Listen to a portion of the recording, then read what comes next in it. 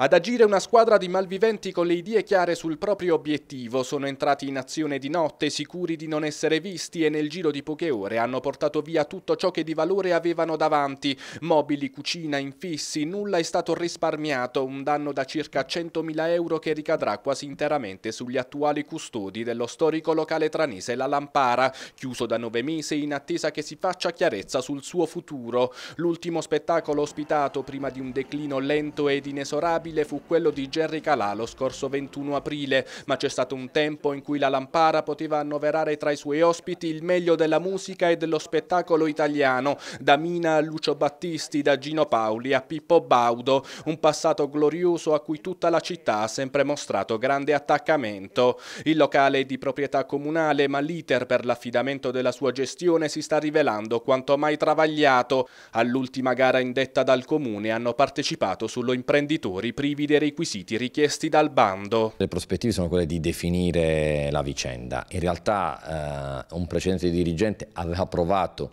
a definirla con un bando di gara che di fatto non è andato a buon fine. Evidentemente eh, è stato pensato anche non bene perché eh, non è che abbia suscitato chissà quali interessi di chissà quali particolari eh, gruppi imprenditoriali eh, considerando che non stiamo parlando di un bene qualsiasi per la città, ma di un, un bene eh, a cui la città è molto legata, che ha un nome oramai si è creato negli anni e ha un'enorme rilevanza. C'è l'idea di proseguire la trattativa con la cooperativa Lavoratori della Lampara che ha avuto in gestione il locale negli ultimi anni e che attualmente ne detiene la custodia, ma c'è un problema da superare ed è rappresentato dalla vecchia debitoria accumulata nelle precedenti gestioni. L'affidamento diretto e quindi senza indire una nuova gara può avvenire infatti solo se la cooperativa decide di accollarsi anche i debiti lasciati dalla gestione precedente alla loro. Il dialogo tra le parti è in corso e la speranza, spiega il sindaco di Trani, è di chiudere la vicenda attraverso una transazione non affidarlo attraverso una procedura ad evidenza pubblica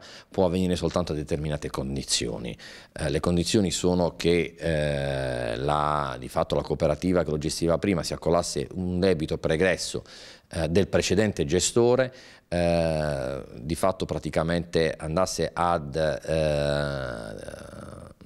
eliminare ogni pendenza, ogni tipo di pendenza immediatamente e si accollasse eh, una serie di lavori così come erano previsti anche già nel bando. A queste condizioni eh, si possa giungere ad una definizione transattiva, questo però è evidente che lo dovranno dire i dirigenti, lo dovrà dire il mio dirigente sulla base dell'istruttoria che avrà compiuto, penso, gli ho dato un tempo stretto, da qui a dieci giorni massimo si dovrà o eh, de definirla in un senso o piuttosto in un altro con un bando che a quel punto dovrà essere scritto in maniera assolutamente diversa e mi auguro possa avere anche un maggior appeal rispetto al passato.